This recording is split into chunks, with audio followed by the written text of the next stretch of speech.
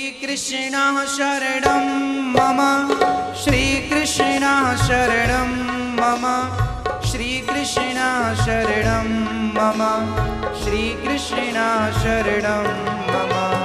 श्रीकृष्णा शरणं मम, श्रीकृष्णा शरणं मम, श्रीकृष्णा शरणं मम, श्रीकृष्णा शरणं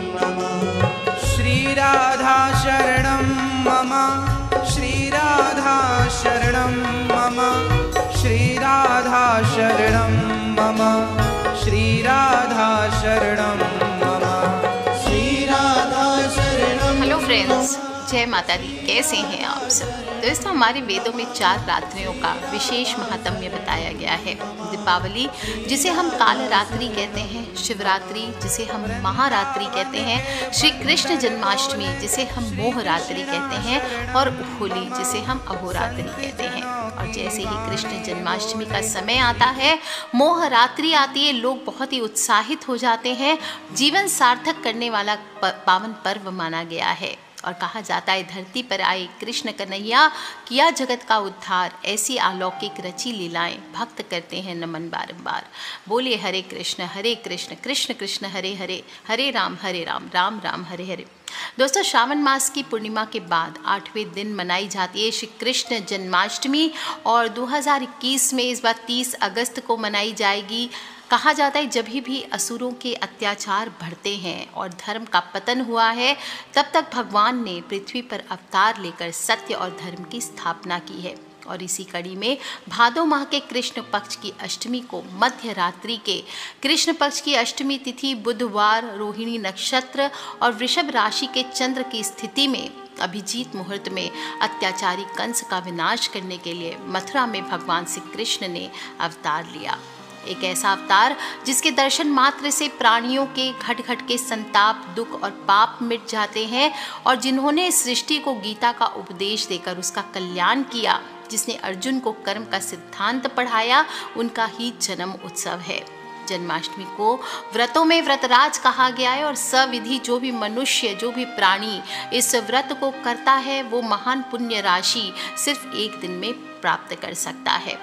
मोहरात्रि की संज्ञा क्यों दी गई है? क्योंकि इस दिन महान काना जिनके जन्म के संयोग मात्र से बंदी गृह के सभी बंधन अपने आप खुल गए, सभी पहरेदार घोर निद्रा में चले गए। माँ यमुना, जिनके चरण स्पर्श करने को आतुर हो उठी, उस भगवान श्री कृष्ण को संपूर्ण सृष्टि को मोह लेने वाला अवतार माना गया है। और इस रात में योगेश्वर श्री कृष्ण का आप ध्यान करते हैं, नाम करते हैं, मंत्रों का जप करते हुए जागते हैं तो संसार की मोह माया से आपकी आसक्ति हटती है और इसी कारण इस रात्रि को मोह रात्रि संज्ञा दी गई है। सिर्फ़ भारत में नहीं, सभी जगह जहाँ जहाँ लोग जानते हैं, कन्हैया को वहाँ वहाँ सभी पूरी आस्था और उल्लास से इस पर्व को मनाते हैं और ब्रज ब्रज मंडल में श्री कृष्ण जन्माष्टमी, नंद महोत्सव दधी कांदो श्री कृष्ण के जन्म उत्सव का दृश्य बड़ा ही दुर्लभ होता है। भगवान के श्री विग्रह पर हल्दी, दही, घी, तेल, गुलाब जल, मक्खन, केसर, कपूर आदि चढ़ाकर ब्रजवासी परस्पर लेपन करते हैं, छिड़काव करते हैं छप्पन भोग, महाभोग लगाते हैं। वाद्य यंत्रों में मंगल ध्वनि बजाई जाती है और जगत गुरु श्री कृष्ण का जन्म उत्सव निसंदेह संपूर्ण विश्व के लिए आनंद मंगल का संदेश देता है। संपूर्ण ब्रज मंडल संपूर्ण विश्व नंद घर आनंद भयो। जय कन्हैया लाल की जैसे जय घोषों और बधाइयों से गुंजायमान होता है। अच्छा इसका व्रत और पूजन कैसे करना चाहिए? श्री कृष्ण जन्माष्टमी का व्रत सनातन और धर्म अवलंबियों के लिए अनिवार्य माना गया है और इसके व्रत के विषय में दो मत हैं। स्मार्त लोग जो होता है स्मार्त और वैष्णव। तो जो स्मार्त होता है वो अर्धरात्रि स्पर्श होने पर या तो रोहिणी नक्षत्र का योग हो या सप्तमी सहित अष्टमी हो तो इसमें उपवास करते हैं। किंतु जो वैष्णव होते हैं, वो सप्तमी का किंचन मात्र भी स्पर्श होने पर दूसरे दिन ही उपवास करते हैं। लेकिन हम देख लेते हैं कि इस वर्ष कृष्ण जन्माष्टमी कब मनाई जाएगी तो 30 अगस्त को हम मना रहे हैं। 29 अगस्त को 29 अगस्त को रात को ग्यारह बजकर पच्चीस मिनट पर अष्टमी तिथि का प्रारंभ होगा और 31 अगस्त को सुबह एक बजकर 59 मिनट पर अष्टमी तिथि की समाप्ति होगी। रोहिणी नक्षत्र का प्रारंभ 30 अगस्त को सुबह छः बजकर थर्टी नाइन मिनट पर होगा और समापन 31 अगस्त को सुबह नौ बजकर चौवालीस मिनट है। इसीलिए सर्वमान्य है कि 30 अगस्त को ही आप श्री कृष्ण जन्माष्टमी मनाएँ। निश्चित काल में जो लोग भी पूजन करना चाहते हैं, उनको बता दूँ इलेवन फिफ्टी नाइन से लेकर सुबह बारह बजकर चौवालीस मिनट तक है। उपवास के जो पहले दिन, यानी सप्तमी तिथि को आपको हल्का भोजन करना चाहिए, जो भी व्रत रखना चाहते हैं, हो सके तो एक वक्त का भोजन कीजिए और ब्रह्मचर्य का पालन करते हुए आपको ओम नारायणायन या ओम नमो नारायणाय इसका जप करते हुए या ओम नमो भगवते वासुदेवाय इसका जप करते हुए सोना चाहिए। व्रत वाले दिन सुबह जल्दी उठें। बाकी व्रत की तरह अपने घर को साफ़ सुथरा कर लीजिए। मुख्य द्वार पर हल्दी के जल का छिड़काव करें और नित्य कर्मों से निवृत्त होकर के स्नान कीजिए। अपने घर की साफ़ सफ़ाई करके सभी देवी देवता पूजा स्थल को साफ़ कर लीजिए। हल्के सुंदर वस्त्र पहने। क्योंकि माँ को इस दिन कष्ट होता है देव की माँ को तो कहा जाता है कि इस दिन हल्के हल्के वस्त्र पहनने चाहिए आपको और घर की साफ़ सफ़ाई करें। सब करें कि मम अखिल पाप प्रशमन पूर्वक। सर्वाभिष्ट सिद्ध है, श्री कृष्ण जन्माष्टमी व्रत महम करिष्ये। अगर ये सब नहीं बोल सकते मंत्र तो सिंपल बोलिए कि आज मैं सच्चे दिल से, प्रसन्न मन से बिना किसी त्रुटि के जन्माष्टमी व्रत को संपन्न करता हूँ, या करूँगा या करूँगी। इस प्रकार से प्रार्थना कीजिए हे भगवान श्री कृष्ण कृपा पधारिए और पूजा कीजिए। भगवान का ध्यान करें, कस्तूरी, तिलकम, ललाट, पटले, वक्षस्थले, कौस्तुभम, नासाग्रे, वर मौक्तिकम कर तले वेणु करे कंकणम, सर्वांगे हरिचंदनम सुरलितम, कंठे च मुक्तावली, गोप स्त्री परिवेष्टितो, विजयते गोपाल चूड़ामणि। इस प्रकार से आप भगवान का ध्यान करके भगवान श्री कृष्ण को पंचामृत से स्नान कराइए, गंगा जल से स्नान कराइए। लड्डू गोपाल है तो सर्वश्रेष्ठ है, उनका भोग, उनको, उनका पूजन कर सकते हैं।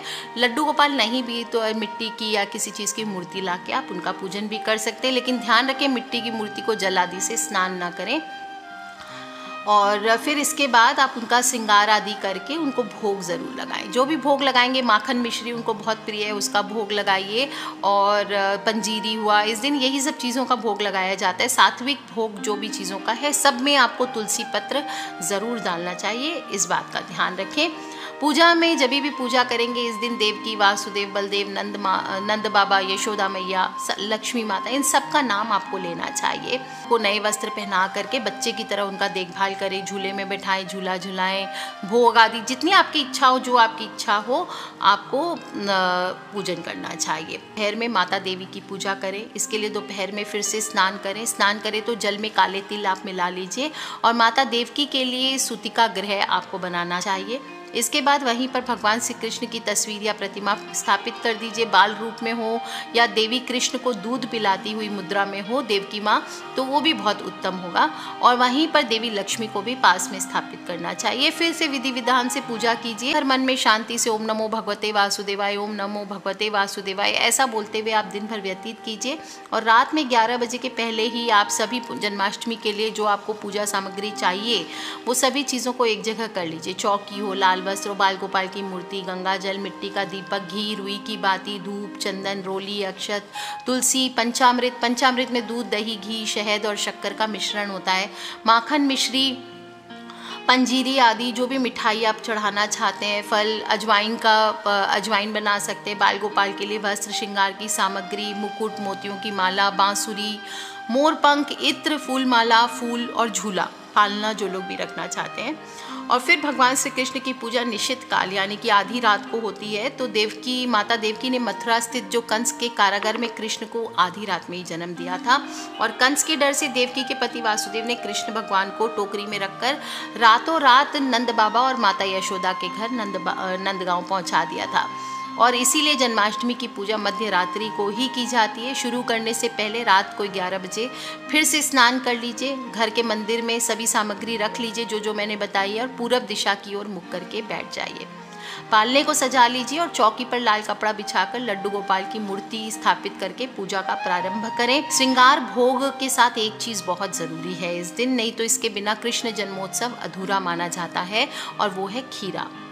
अगर आप हर चीज़ विधि विधान से कर रहे हैं तो खीरा ज़रूर रखें, क्योंकि खीरा से नंदलाल काफ़ी प्रसन्न होते हैं और भक्तों के सारे संकट कट जाते हैं। लेकिन जो खीरा आप लेके आएँगे, उसमें थोड़ा सा डंठल होना चाहिए। पत्तियाँ हो तो अच्छा है, नहीं तो कम से कम डंठल होना चाहिए।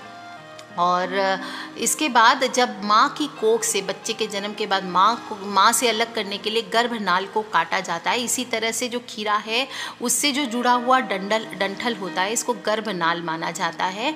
क्योंकि इस दिन ये नाल काट करके कृष्ण भगवान को देव की माँ से अलग करने की प्रक्रिया की जाए इसलिए रात को 12 बजे या अर्धरात्रि के समय सबसे पहले शंख बजाएँ, घंटों से निनाद करें और श्री कृष्ण जन्मोत्सव संपादित करें ज़ोर ज़ोर बोले। आल पालकी जय कन्हैया लाल की हाथी दिने घोड़ा दिने और दिने पाल की आल की पाल जय कन्हैया लाल, इस प्रकार से आपको इनको जन्म उत्सव करना चाहिए। और जैसे ही जन्म कराते हैं तो खीरे को आप ज़मीन पर पटक के फोड़ सकते हैं और उसमें से आप लड्डू गोपाल का जन्म करा सकते हैं या शालीग्राम जी हैं तो शालीग्राम जी को नहला कर, निकाल करके उसमें से स्नान आदि आपको कराना चाहिए। और सिक्के की मदद से, चाकू नहीं लगाएँ, सिक्का जो होता है, कॉइन की मदद से खीरा और डंठल को बीच में से आप काट सकते हैं। फिर श्री विग्रह का षोडश उपचार पूजन कीजिए।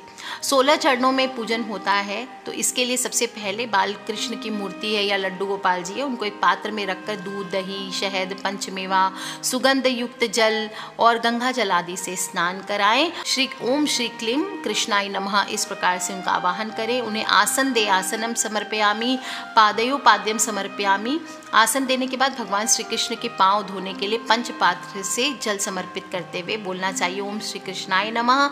फिर अर्घ्य दें और ओम श्री कृष्णाय नमः। अर्घ्यम समर्पयामी। ऐसे आप बोल करके कर सकते हैं आचमन कर सकते हैं। ओम श्री कृष्णाय नमः। आचमनियम समर्पयामी। फिर स्नान कराइए।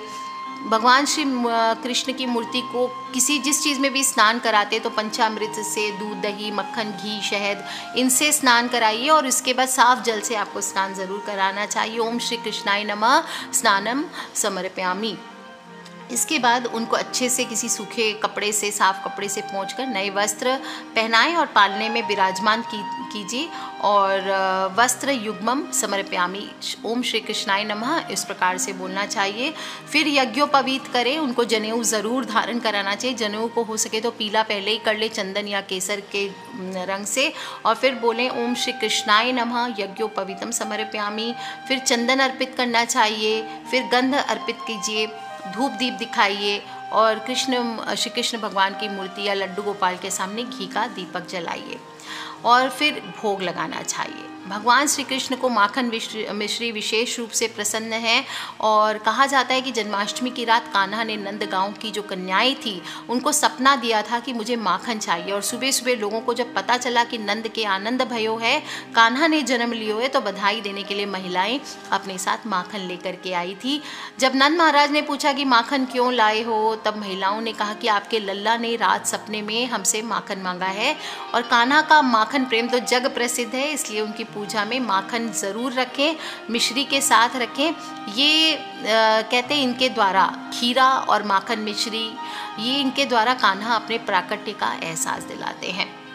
थोड़ा सा दही भी ज़रूर भेंट करना चाहिए, क्योंकि पूजा के दौरान पहले ही रख देना चाहिए, जन्म के पहले। कहते हैं कि दही में अगर दरार आ जाए, दही फट जाए तो ये कान्हा की उपस्थिति का संकेत देता है। कुछ लोग इसे अंधविश्वास कह सकते हैं, कुछ लोग अपनी अपनी श्रद्धा और विश्वास की बात है। इसके बाद लौंग, इलायची, सुपारी, पान, ये आपको अर्पित करनी चाहिए। फिर सामर्थ्य अनुसार दक्षिणा भेंट करें और आखिरी में घी के दीपक से श्री कृष्ण भगवान की आरती करें। आरती जुगल किशोर हर की कीजिए, राधे तन मन धन न्यौछावर कीजिए। आप चाहे तो ये आरती कीजिए या और कोई आप कर सकते हैं। इस प्रकार से जो भी मनुष्य सच्चे मन से जन्माष्टमी का व्रत करता है विधि पूर्वक पूजा करता है, कथा सुनता है, उसकी सभी मनोकामनाएँ पूर्ण होती है। ध्यान रखें। भगवान का श्रृंगार आदि करने के बाद सभी लोग उन्हें पालना धीरे धीरे, बिल्कुल धीरे जैसे नवजात बच्चे को झुलाते हैं, बिल्कुल स्लो मोशन में आपको उनको पालना झुलाना चाहिए।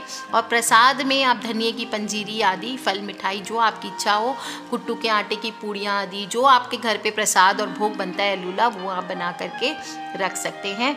और इसके पश्चात सभी परिजनों में प्रसाद का वितरण करके सपरिवार अन्न भोजन ग्रहण करें। और संभव हो तो रात्रि जागरण कर सकते हैं। ये भी विशेष लाभप्रद होता है और मनोकामनाओं की पूर्ति करता है। दोस्तों, कहा जाता है जन्माष्टमी व्रत महात्म्य के बारे में कि जिस राष्ट्र या प्रदेश में ये व्रत उत्सव किया जाता है, वहाँ पर प्राकृतिक प्रकोप नहीं होता, महामारी का तांडव नहीं होता। मेघ पर्याप्त वर्षा करते हैं, फ़सल खूब होती है और जनता सुख समृद्धि को प्राप्त करती है। इस व्रतराज के अनुष्ठान से सभी को परम श्रेय की प्राप्ति होती है और व्रतकर्ता भगवत कृपा का भागी बनकर इस लोक में तो सुख भोगता ही है, अंत में वैकुंठ को जाता है। कृष्ण अष्टमी का व्रत करने से मनुष्य के सभी कलेश दूर होते हैं, दुख दारिद्रता से उद्धार होता है और देखा जाए तो भगवान विष्णु जी ने धर्म की स्थापना करने के लिए भगवान श्री कृष्ण जी के रूप में जन्म लिया था और इसलिए अगर इस दिन भगवान श्री कृष्ण का स्मरण किया जाए तो यह अत्यंत फलदायी माना गया है। जिस घर में ये देवकी व्रत किया जाता है, वहाँ अकाल मृत्यु का भय नहीं रहता, गर्भपात नहीं होते, दुर्भाग्य वहाँ से दूर होता है और कलह घर से दूर होता है।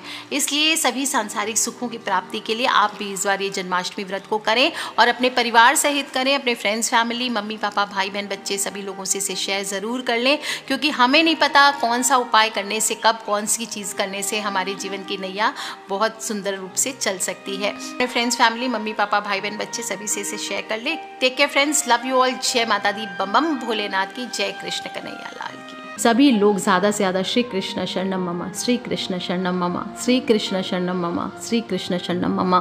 इस प्रकार से जब ज़रूर कीजिए और कन्हैया आपके सभी कष्टों को ज़रूर हरेंगे। आज के लिए इतना ही। खिलखिलाते रहें, मुस्कुराते रहें। सब्सक्राइब करके रखें ताकि आने वाले वीडियो से आप और मैं कनेक्टेड रहें। किसी भी तरह के प्रश्न हो, जन्माष्टमी को लेकर के तो प्लीज़ मुझे वीडियो के नीचे लिख के ज़रूर पूछ लें। Take care friends love you all जय माता दी बम बम भोलेनाथ